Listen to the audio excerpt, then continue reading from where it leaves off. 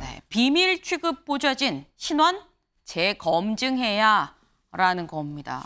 기사 같이 볼까요?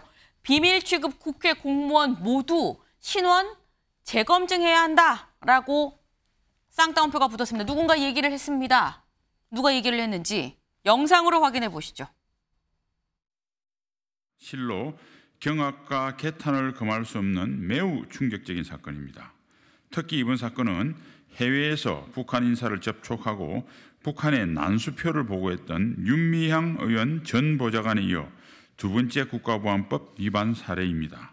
그동안 민주당이 보여온 친북 종북 행태를 고려할 때 터질 게 터진 것 아니냐는 지적마저 있을 정도입니다. 민주당은 국민에게 사과하고 재발 방지를 약속하기 바랍니다. 둘째, 민주당 지도부는 서른 의원을 적각 국방위원회에서 배제하기 바랍니다. 네. 지금 서론 의원을 즉각 국방위에서 배제해야 된다라고 얘기를 했습니다. 여기 볼까요?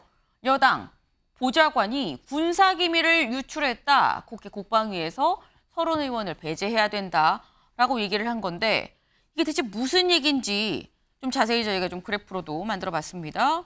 네. 서론 의원의 전직 보좌관이 현재 국가보안법 위반으로 내사를 지금 받고 있습니다. 왜?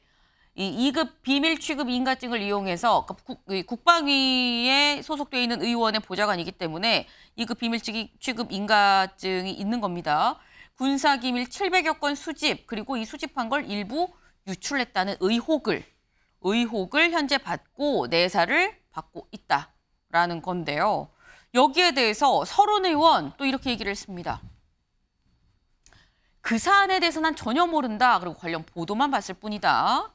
라면서 수사 결과가 더 나오고 내가 사과해야 할 내용이 있다면 하겠지만 현재로서는 아닌 것 같다라고 얘기를 했고요. 그리고 현재 현재 그 보좌관에 대해서 현재 그 보좌관은 지금 없다. 말도 안 되는 소리다. 내가 국가안보에 해를 끼친 게 어디 있느냐라는 국방위 배제 나 배제되면 안 된다. 난 한 게 없다라고 얘기하면서 해당 보좌진이 현재 해임되고 일하, 일하고 있지도 않다. 네. 따로 연락하지도 않는다.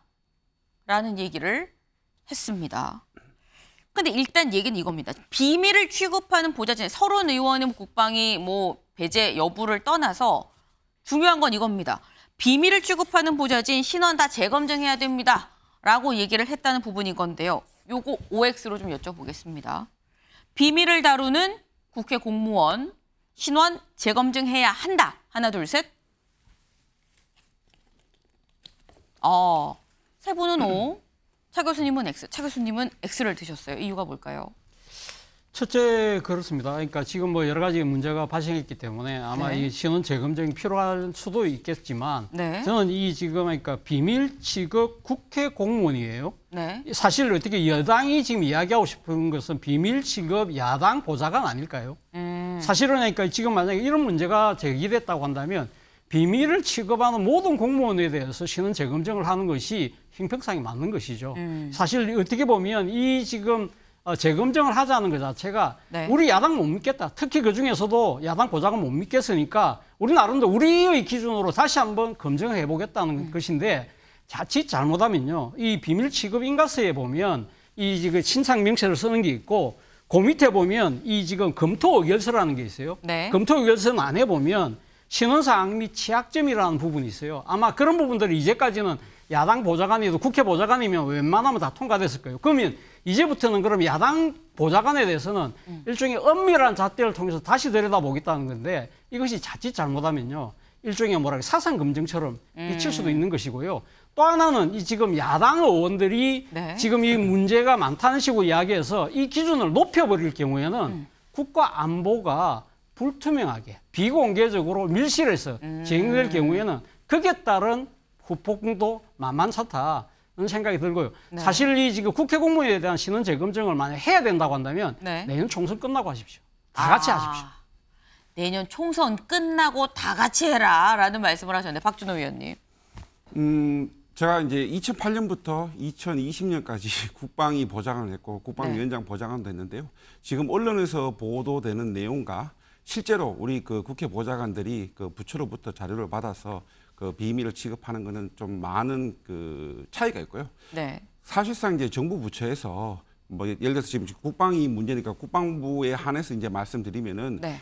국방부뿐만 아니라 정부 부처에서 자료를 국회에서 요구했을 때 실질적으로 그 제공되는 자료의 quality 질을 본다라고 하면은 네. 그 의원이 누구냐에 따라서 자료의 내용이 무지하게 틀려집니다. 어. 사실상 저 보좌관이 네. 예를 들자면 설훈 의원이나 이런 이제 다선 의원 영향력 의원 있는 의원이 아니라 네. 초선 의원 비례대표 의원이었다고 하면은 네. 저, 정도, 저 정도의 방대한 정보를 접근할 수가 없습니다. 음. 그리고 또 지도 제가 이제 그 신원 뭐 어떻게 보면 재검증이 필요하다는 이유는 네. 사실상 국회 이 공무원에 대한 비밀 취급 인가증이 남발되고 있는 것이 현실이고요. 남발되고 저는 있다.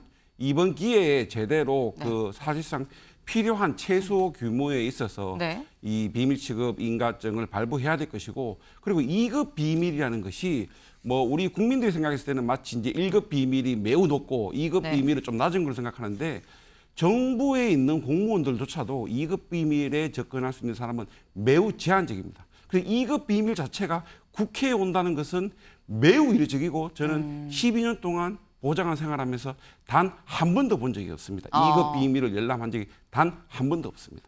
그럼 요걸 한번 여쭤볼게요. 아까 차 교수님은 이게 야당 보좌진에 대해서만 이러는 건 맞지 않다. 총선 끝나고 해라라고 하셨는데 여야 보좌진 다 비밀을 취급하는 보좌진이라면 신원 제이 검사를 해야 된다고 보시는 거예요? 야당이 해야 된다고 보시는 아니 저는 뭐 국회 뭐 여야 보좌진뿐만 아니라 국회 사무처 지금 모두가 해당되는 것이고 음. 또그 시기에 있어서는 네. 하루라도 빨리 진행돼야 되는 것이지 왜냐하면 지금 이 시간에도 누구를 통해서 정보가 어떻게 유출이 되는지 알 수가 없는데 그것을 네. 이제 시간을 두고 한다라고 하면은 지금 이러한 사실이 외부로 알려지는 것에 대해서도 지금 국정원에서 내사 중인데 그러면 결국은 국정원에서 내사의 목적은 무엇이겠습니까?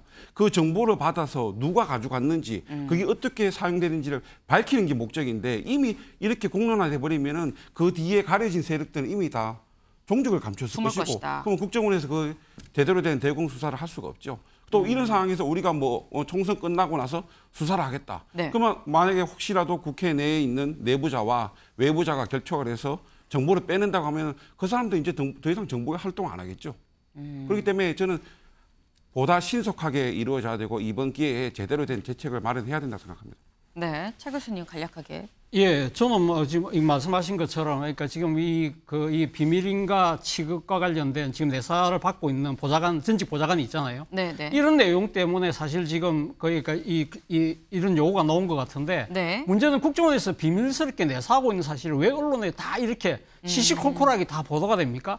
결국은 지금 이것이 원하는 것이 뭐겠습니까? 지금 야당의 일종의 뭐랄까요 국가 이 음. 정책에 대한 접근을 나름대로 제한하려는 정치적 의도가 저는 불순한 정치적 음. 의도가 깔려 있다. 만약에 그 지금 정말 이것이 중요한 국가 기밀이라고 한다면 네. 수사 내사하는 내용 자체도 상당히 은밀하게 내밀하게 해서 지금 또 다시 지금 진행되고 있을지 모르고 있는 또 다른 여러 가지 그 미취약한 부분에 대한 음. 부분을 더 강, 그러니까 이 수사를 강화하기 위해서라도 네. 사실은 이미 이야기를 하면 안 되는 것이었죠. 네. 박지도 의원님. 그 간략하게. 대공 수사 여러 기법 중 하나는 네. 사실상 이러한 사실이 공개됨으로써 음. 그 누릴 수 있는 효과도 있습니다. 왜냐하면은 이러한 사실이 공개됨으로써 밑에 있는 음. 숨어 있는 사람들이 일어날 수 있기 때문에 그렇습니다. 알겠습니다. 네, 아 어떻게 생각하십니까? 코너였는데 상당히 네. 이 찬반이 갈렸다라는 거. 다음 저희 금요일이죠. 지역 신문 알아보겠습니다. 네. 먼저 부산일보입니다. 사는 컨설팅 결과 100% 부산 이전 방안 국회 보고입니다. 사는에서 산업은행 지금 부산으로 이전한다라고 얘기는 진즉에 나왔었는데 서울과 병행할 것이냐 아니면 100%다 내려가느냐라는 거에 논의가 되고 있었죠. 컨설팅 결과 아주 필수적인 부분 제외하고 100% 부산 이전하는 방안을 추진하겠다라고 국회에 보고했다라는 기사네요. 다음 보겠습니다. 다음 광주일보입니다. 광주 도심 속 산단 수두룩 땅값 상승 노린 투기 우려라는 기사인데요. 이게 대체 무슨 얘기냐?